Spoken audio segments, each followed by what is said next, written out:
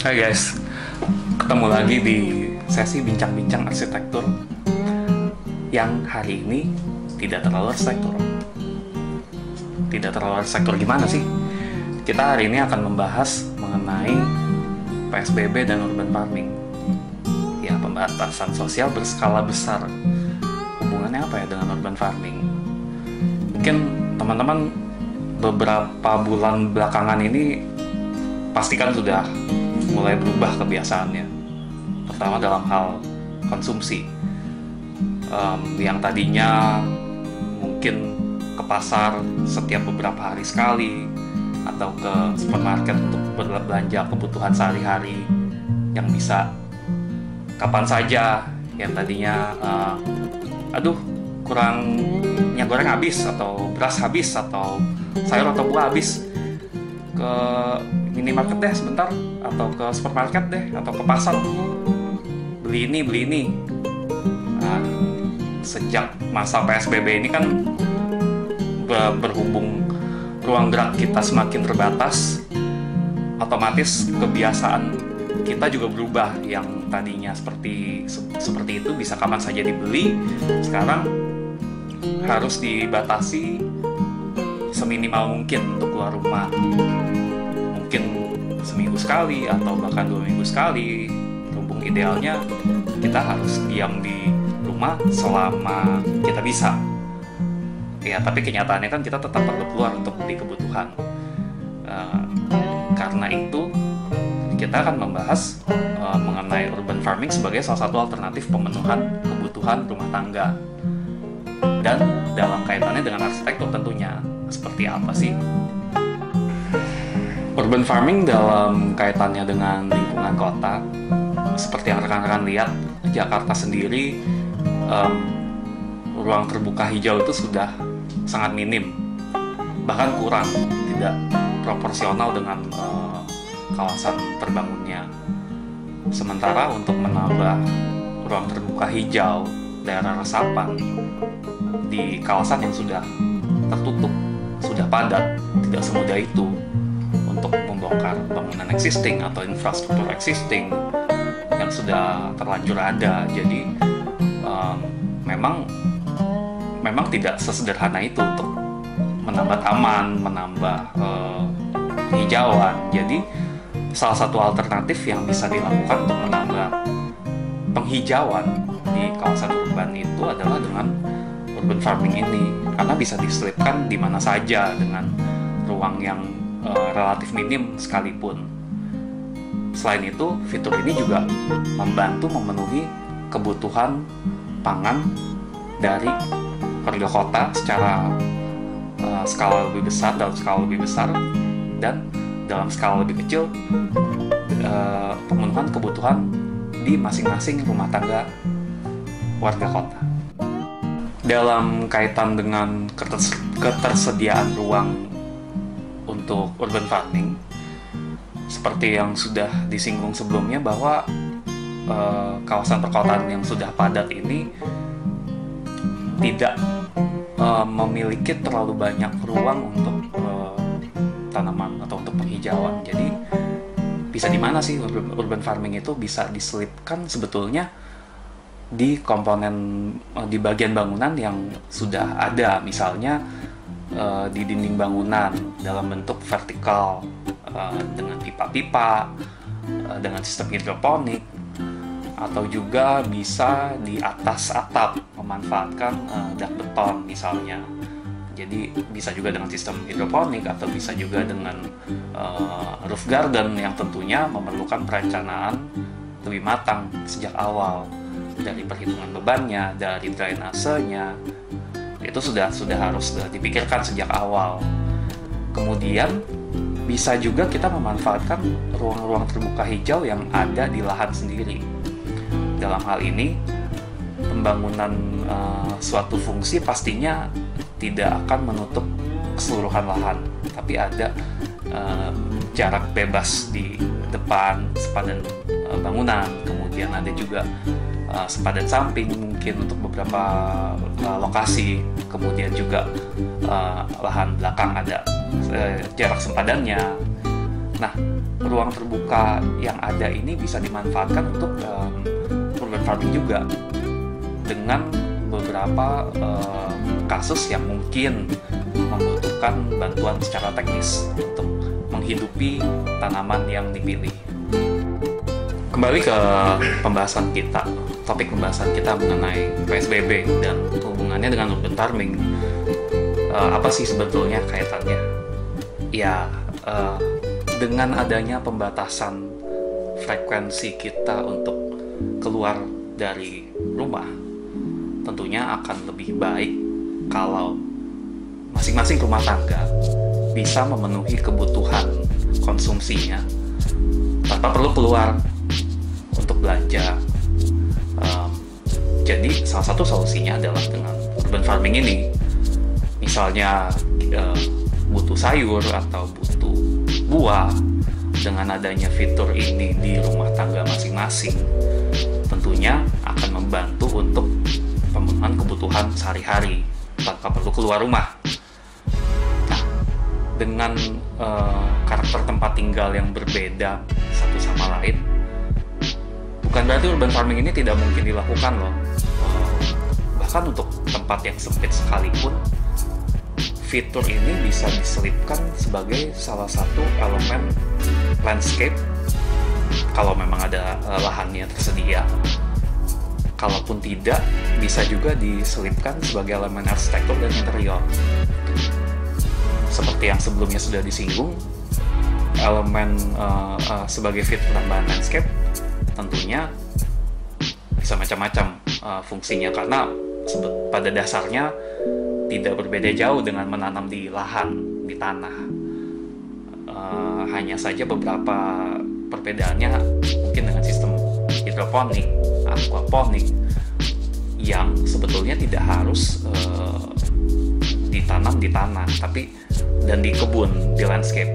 Tapi bisa juga di dalam ruangan atau diintegrasikan dengan elemen arsitektur misalnya di ditempelkan di dinding dengan sistem hidroponik dengan pemipaan. Uh, misalnya juga dijadikan elemen interior partisi ruangan misalnya.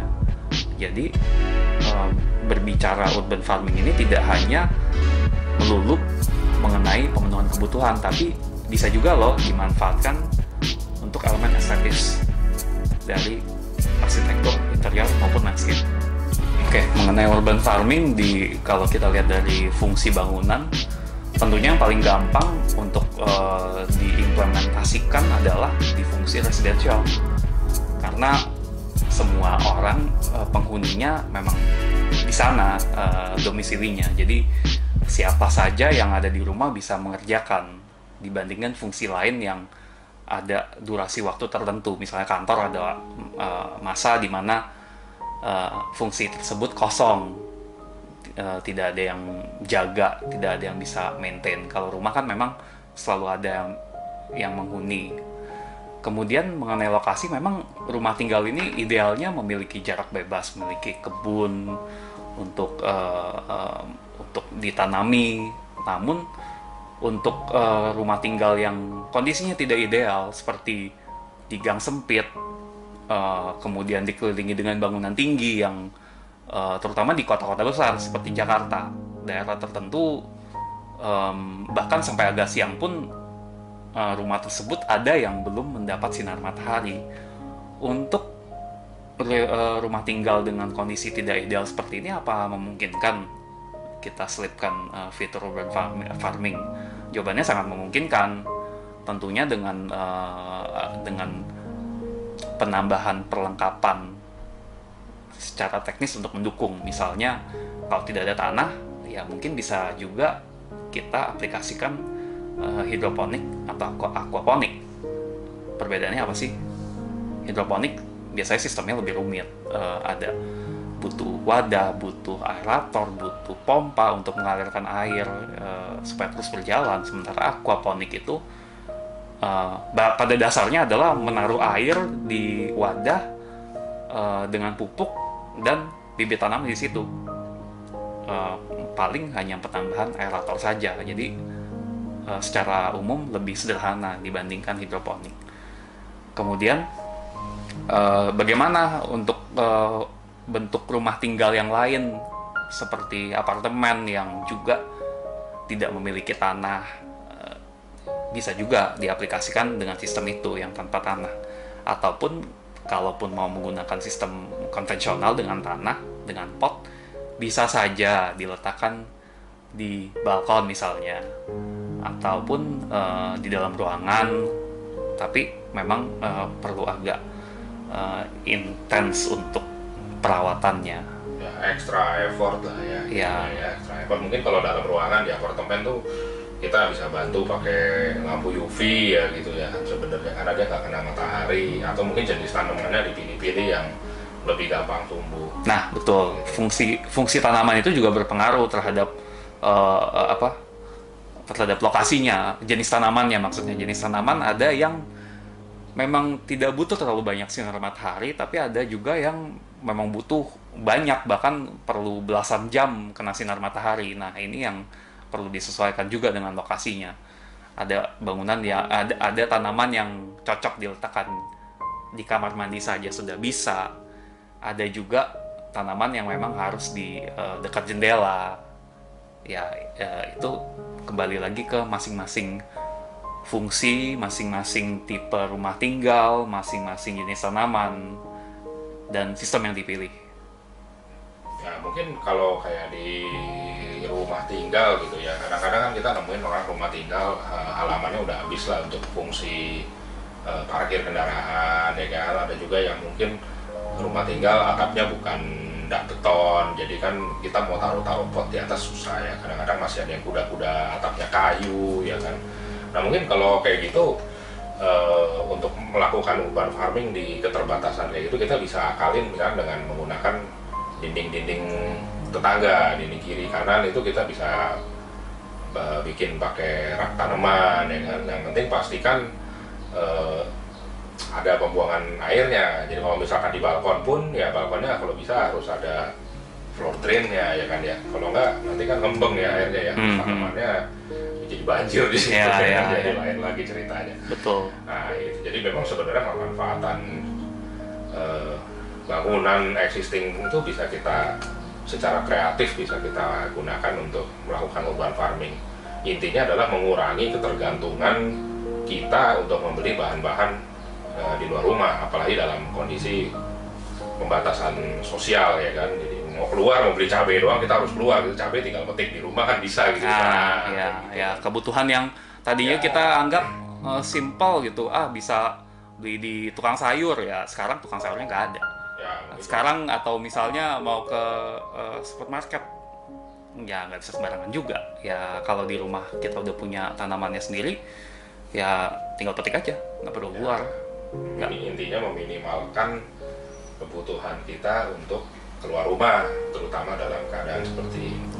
berbicara soal fungsi bangunan yang bisa diaplikasikan urban farming selain residential sebetulnya uh, fungsi lain seperti sekolah kantor komersial.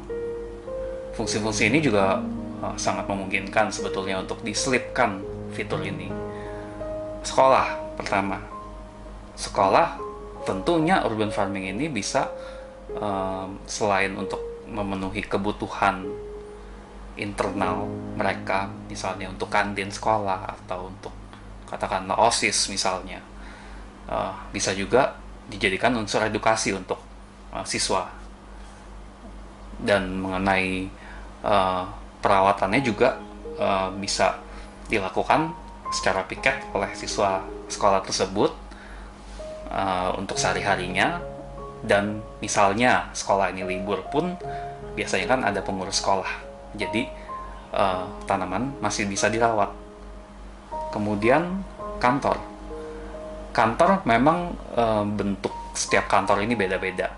Ada yang uh, dia hanya menyewa ruangan dalam satu gedung. Ada juga yang memang uh, satu bangunan milik mereka sendiri atau uh, mereka sewa. Uh, tentunya uh, penyisipan fitur urban farming ini akan beda sesuai dengan bentukan kantor masing-masing. untuk uh, kantor yang menyewa space di gedung bisa diselipkan misalnya di uh, di furniture misalnya di tengah meja meeting itu ada juga uh, pernah uh, bahkan beberapa kantor ada juga yang menyelipkan urban farming di situ atau bisa juga ditambahkan uh, sebagai elemen interior misalnya dijadikan uh, shading di sepanjang kaca berhubung ruang kantor ini kan biasa uh, desainnya kaca full uh, lebar dan uh, di mana matahari bisa bebas masuk. Jadi ini juga bisa uh, menguntungkan untuk tanaman sendiri. Kemudian fungsi lain komersial katakanlah mall misalnya. Memang untuk fungsi ini uh, tentunya developer atau building management biasanya lebih menitik beratkan pada kepraktisan maintenance dan um, saleable area. Dengan adanya uh, fitur ini bisa jadi uh, space yang tadinya bisa dijual jadi agak berkurang dengan adanya fitur ini tapi hal ini sebetulnya memungkinkan kalau fitur ini sudah dijadikan program oleh uh, building management atau developer. Um, kalau kalau itu sudah diterapkan dari uh, manajemen ini uh, sebetulnya memungkinkan untuk diterapkan di bangunan tersebut. Di berbagai lokasi. Biasa kan ada area terbukanya di uh, uh, tamannya atau di plazanya uh, atau juga mungkin di dekat jendelanya di mall tersebut di ruang ruang-ruang publiknya terutama ya bukan di tenannya. Kalau tenan kan itu memang sudah uh, wilayah masing-masing penyewa. Kira-kira seperti itu sih. Soal urban farming uh, wah gimana ya? Saya mungkin ada beberapa orang yang berpikir begini ya. Wah saya nggak pernah punya pengalaman nih berkebun pegang tanaman aja mati misalnya tapi sebetulnya uh, berkebun ini nggak sesulit itu. Ya memang perlu uh, usaha ekstra untuk memulainya. Tapi tidak melulu harus kita uh, dari bibit atau dari benih tanam. Simpelnya kita bisa manfaatkan kayak sampah dapur sayur-sayur misalnya wortel.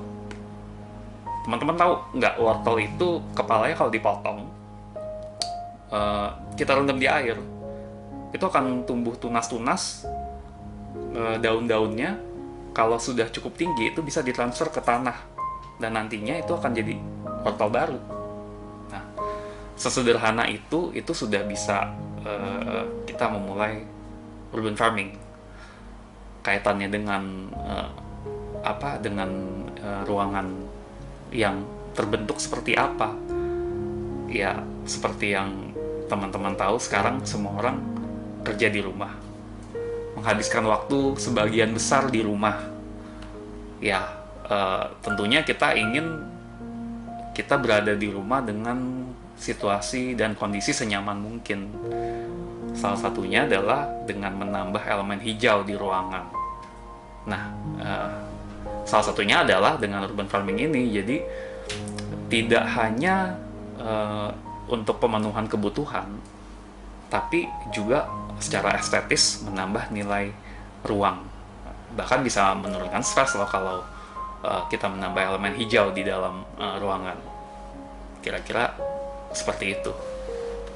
Ya, jadi uh, interiornya itu dalam bangunan kita bisa melakukan urban farming sekaligus sebagai sarana estetika lah ya. Jadi pesemaiannya tuh indoor ya kan. Hmm. Nanti begitu dia udah mulai gede dia pindahin kita pindahin ke outdoor. Nanti di dalam ruangan kita bikin pesemaian lagi indoor gitu. Jadi continue lah gitu nah. istilahnya nah. ya kan ya sebenarnya gitu dan kalau outdoor sendiri juga bukan berarti kita harus ada tanah ada lahan kosong ya untuk untuk berkebun bisa aja uh, kita tempatkan di pot saja It, itu pun sudah cukup untuk ditempatkan outdoor misalnya tidak ada lahan ya di teras saja itu sudah cukup kok atau di balkon begitu ya emang kalau di perumahan-perumahan tertentu apalagi mereka yang tinggal di apartemen itu ya Eh, kendalanya kan balkonnya sempit ya. Mungkin ada beberapa apartemen yang eh, bangunan zaman dulu balkonnya lebih besar tapi kalau rata-rata apartemen baru zaman sekarang kan mereka punya unit lebih kecil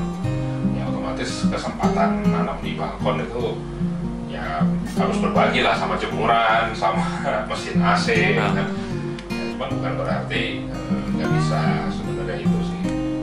Sebenarnya kalau untuk enak lagi ya kayak sekolah ya sekolah tuh juga eh, space-nya juga lumayan ya untuk bisa dipakai ya. Balik lagi ke kalau nggak ada balkon balkon gimana? Eh, bisa aja kita taruh di dekat jendela di ambang jendela. Ya jadi potnya juga pot-pot kecil saja. Nama juga elemen interior yang sudah jejer-jejer di jendela ya. Betul sudah ada elem- apa komponen arsitekturnya ya kita tinggal menambahkan eh, yang lebih kecilnya saja di situ. Atau kalau mau lebih menyeluruh lagi lebih eh, terintegrasi lagi bisa saja didesainkan eh, seperti ambalan-ambalan di jendelanya. Oh ya jadi rak-rak ya. Jadi rak-rak tanamannya taruh di situ. Itu juga bisa jadi elemen interior oke demikian bahasan ringan kita seputar urban farming ya mumpung uh, saat ini kita masih uh, bekerja dari rumah mungkin ini jadi bisa jadi salah satu alternatif kegiatan uh, selain bekerja di rumah ya mengisi waktu luang tapi juga uh, yang produktif Sampai ketemu di sesi berikutnya.